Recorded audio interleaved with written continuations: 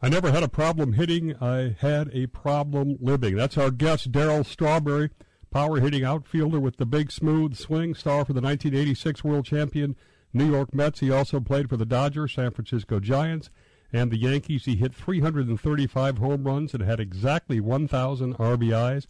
That over a 17 year career. He was en route to Cooperstown and the Baseball Hall of Fame when his career was derailed by substance abuse problems his new book, Not a Baseball Book, written with addiction experts, Don't Give Up on Me, Shedding Light on Addiction. Welcome, Darryl. Honor to have you.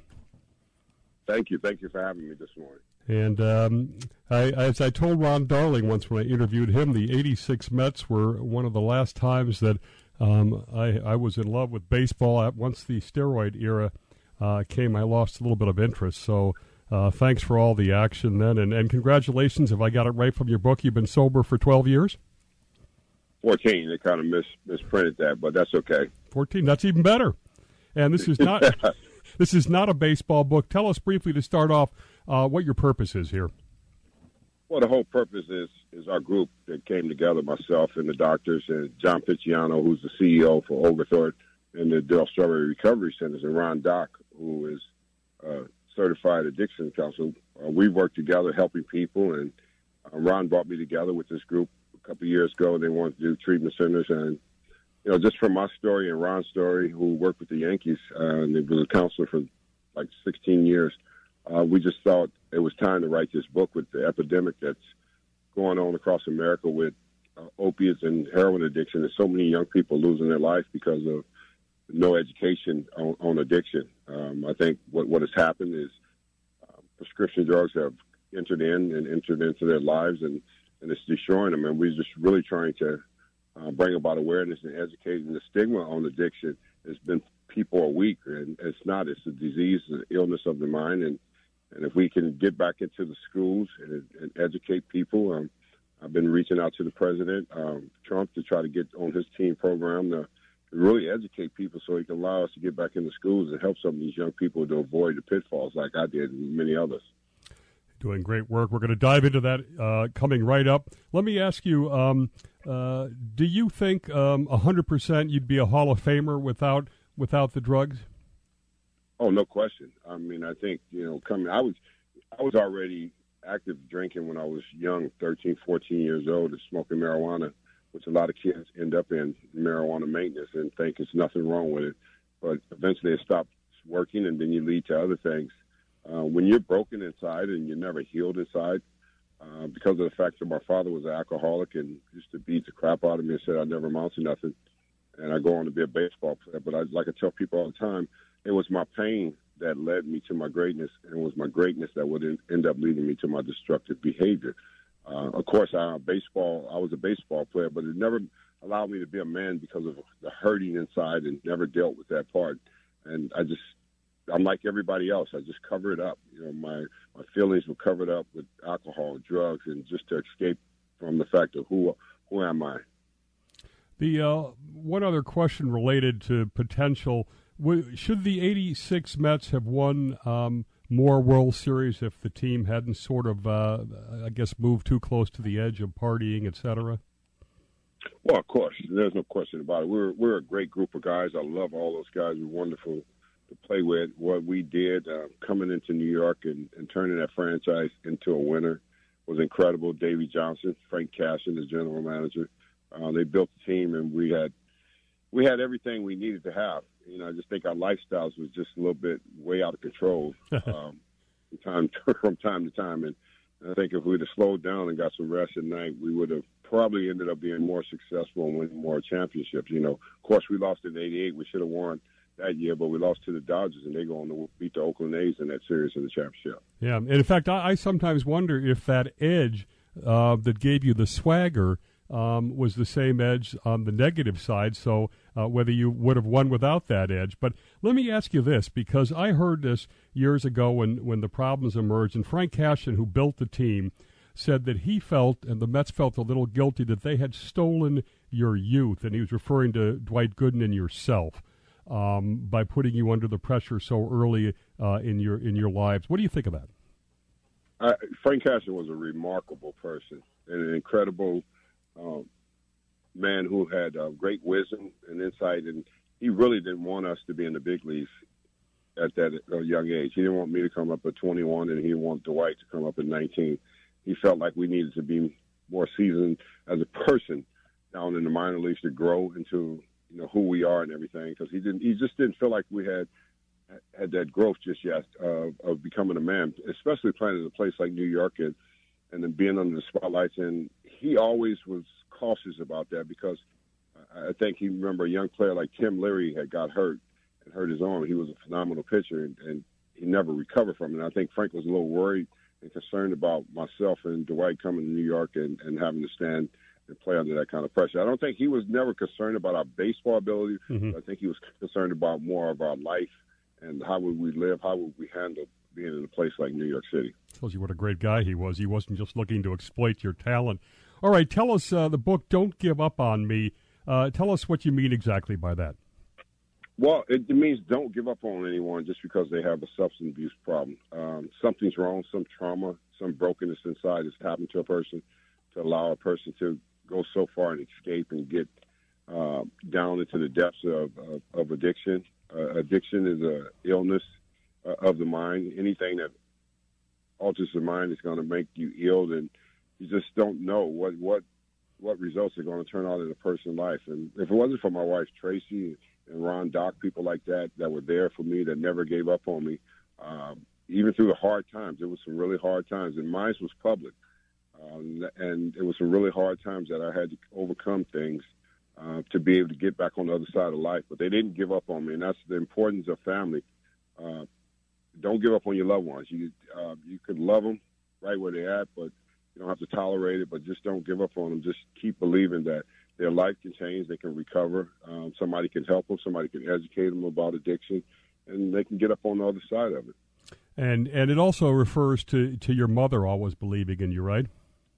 My mother, yeah, always believing in me that I would do something great and mighty, different than baseball. I See, most people think well, it was baseball. You know, baseball was just a platform, but it wasn't my life. And my mother always believed that I was going to have an impact, a global impact on people's lives. She said she always believed that God was going to use me mightily to do something different to help other people. And and I'm just grateful, and I'm grateful for, like I said, my wife Tracy, who never gave up on me, who was one that helped me turn my life around and find my purpose in life.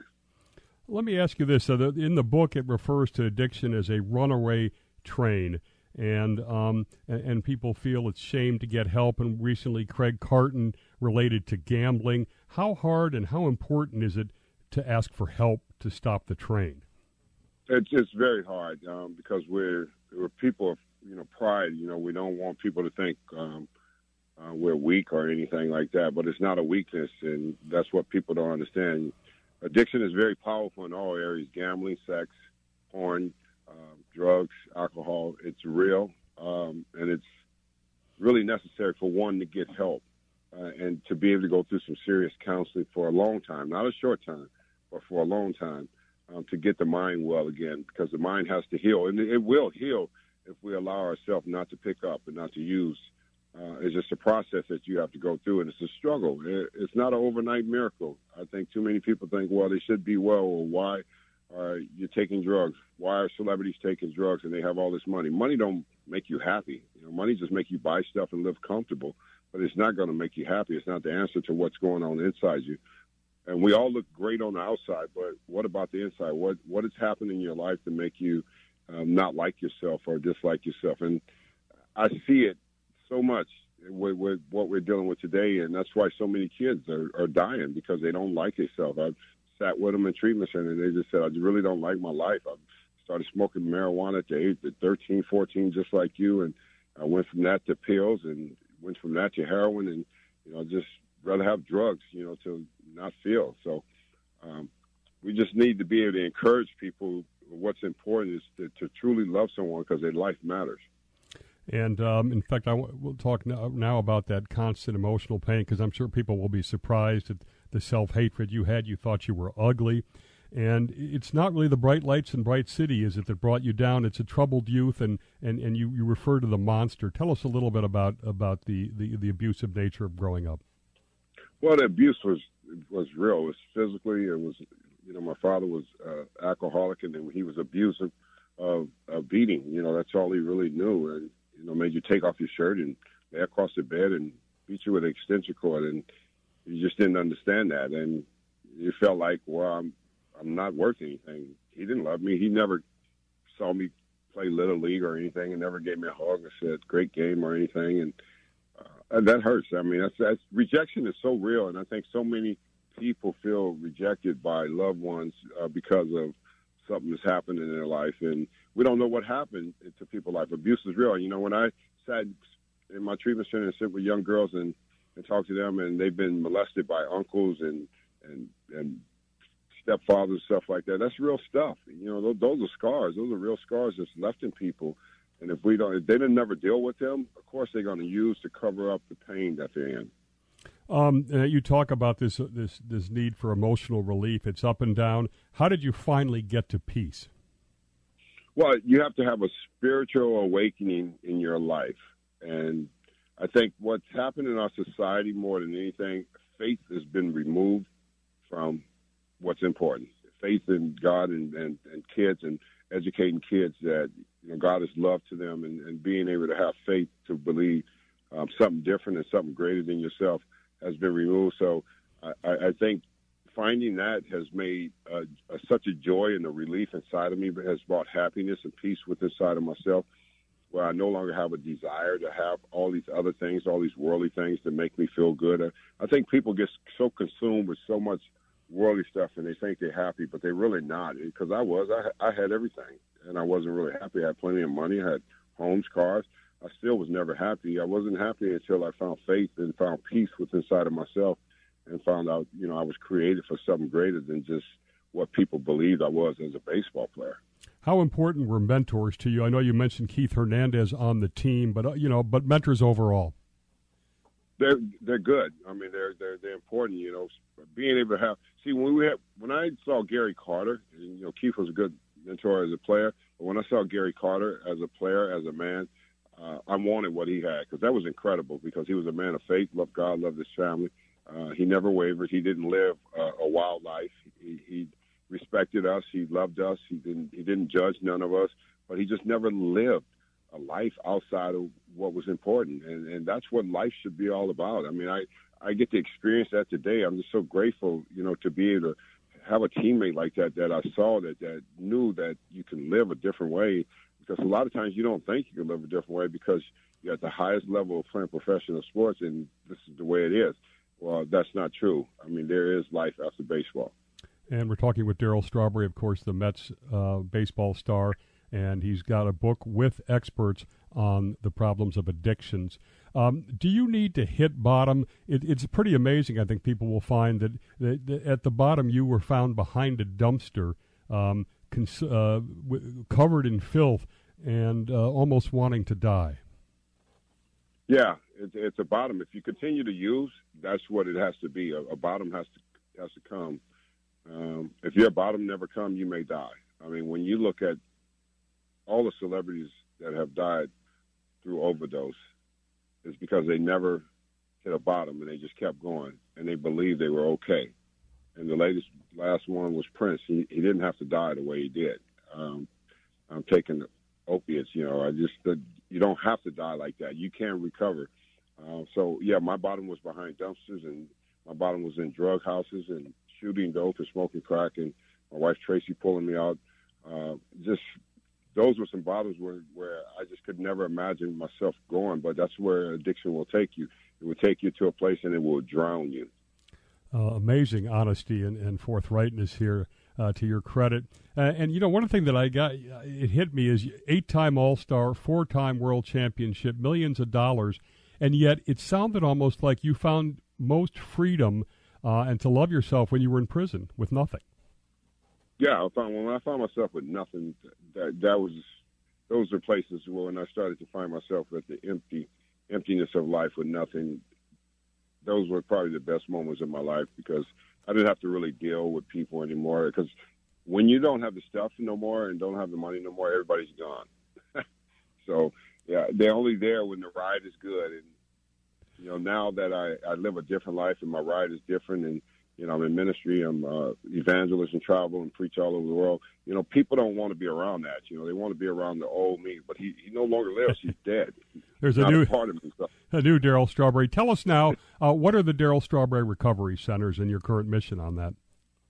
Well, it's a residential 28 day program, and we'd like for them to be longer. You know, if we have to keep them longer, we keep them longer to to help people understand substance abuse and help people understand uh, that their life matters and and bring bring about corrections. Uh, people got to be willing to go there and, and and do the work, and that's what I try to tell them. Every you know, I've had so many kids in and out of our treatment center, and so many that OD'd because I kept telling them, if you don't do the work, you will die. This this is not a game. Drugs will kill you, and I think a lot of times we don't think the reality of it's going to I'm going to be the one and and for the grace of God there go I. I should be dead but you know here it is. I get a chance to spare and save some lives now. And and that's the mission. That's the urgency of waking up every day is to help someone else that's still suffering. And, and you feel at the end that this this is all much more important than the fact that you were one of the greatest baseball players ever. yeah this is more important. You know baseball is a game. Uh, I can tell you what's going to happen. Somebody's going to win somebody's going to lose. Somebody's going to win the championship somebody's going to lose it. And in life you only get one shot at this and we need to try to help people make the best shot of regardless of, of their condition. Um, God loves them, and it's important that we love them too, and we make sure that they know that they are loved and they're not a mistake. Um, their life is important. So um, that's you know that's the mission of waking up every day. You know, it's you know shedding light on addiction is dot com is is is the website that we have. So uh, I just recommend that parents pick up this book because you never know when your child is going to make your own decision, get a prescription. Because if he does, I tell them don't allow your child to get a prescription, please. Uh, when I speak, don't because once they get one, it's going to alter their mind. It's going to be a different kid.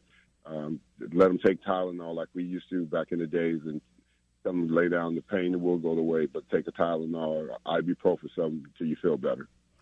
And uh, you talk about your mother never giving up on me. I think somehow she's uh, looking down, very proud of you. Tremendous work you're doing. The book is Don't Give Up on Me Shedding Light on Addiction, and it's out October 16th, but you can pre order it now at Amazon and places like that. You can go to strawberrycenter.com to learn more about the recovery centers and strawberryministries.org for Darryl's website. Darryl, thanks for giving us a few minutes and keep up the great work. Thank you. I appreciate you having me on. Thanks so much for taking time out.